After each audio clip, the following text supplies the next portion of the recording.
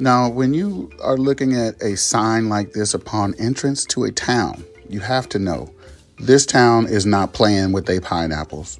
I mean, they probably have four or five different types of pineapples, and every pineapple around the world is just not the same. Because these pineapples right here was slamming. Now, as you may have guessed, pineapple is definitely on the S&Q menu. Now, I'm talking about every type y'all got. I tried, I said, man, it, this pineapple is green. We can't eat green pineapples. He looked at me and was like, and then he cut me a piece. And oh my God. These are uh, 40 cents a piece to 80 cents a piece for these big ones and 40 cents a piece for these. Um, the green ones are still sweet as hell. Uh, it's just a different type or uh, grade of pineapple, but they're all sweet.